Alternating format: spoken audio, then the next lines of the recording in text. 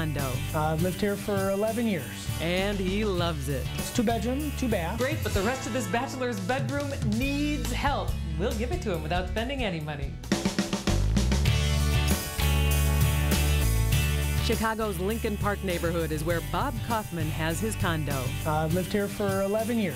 And he loves it. It's two bedroom, two bath. Can you tell? He's a realtor. I have an enormous uh, balcony. It's about 65 feet long. The views of the skyline are absolutely incredible. There are sliding glass doors throughout his apartment, including the bedroom. I'm a little bit of a minimalist kind of uh, decorator, so I don't like things too too crowded.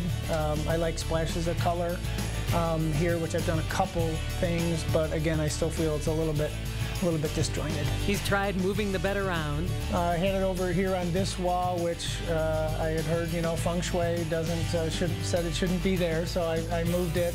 And the TV is important. Thank God for the 30-minute timer. My dogs end up sleeping on uh, that. Probably very masculine furniture is what you, you see here. Our redesigner Kelly Edge agrees. You know what? This is a guy's bedroom. There's no doubt about that. You think? Yeah. yeah. Is this the punishment part of the no, show? I, no, I just it's just it's just typical guy thing. Sure, you know? it is.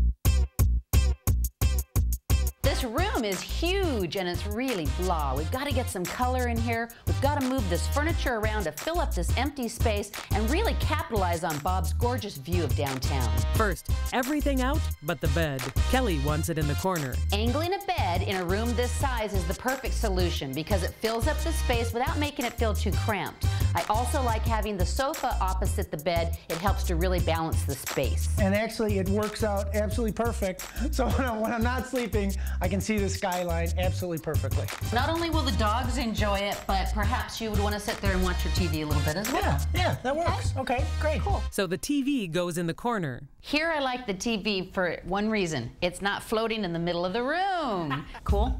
Yes. Okay. Still a guy's bedroom? It's still a guy's bedroom. Okay, good. We need to build up the sofa area. I notice you have this piece kind of sitting here. Yes. And I even like what's going on below it. Uh-huh. And I thought we might try this out in your room. And a bench slash coffee table is just the thing. You know, that's not half bad. We find an extra side table and lamp in the office, and the room is starting to come together. Here's what I found on in storage. Bob's been holding out on us. I just haven't hung it up here or found a place for it or. Wow. The stuff you have now is nice art, but it's too boring. We need color in your room. this is gonna That do hurt. That hurt. it. We have a lot of white walls, so we're bringing in lots of pieces of art with a lot of color, and we're giving it a real punch. I probably just would put like one or two pictures in a room, or you know, or one picture on a wall, but never, you know, we have we have one, two, three, you know, seven pieces of art on the on the wall, and that's that's great. I love it. Bob didn't even think he had accessories, but we're finding them in the storage, in other rooms. We're getting them in here, we're placing them around, we're getting color, sophistication, and that finished look. This is how you make a bed decorator style. Oh, right? wait a second. I should be taking I should be taking notes. This comes back.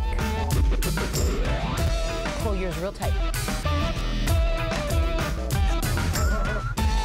Keeps out the evil spirits. Keeps out the evil spirits. And there's a proper bed. Oh yeah, that's a winner right there. Look at that view.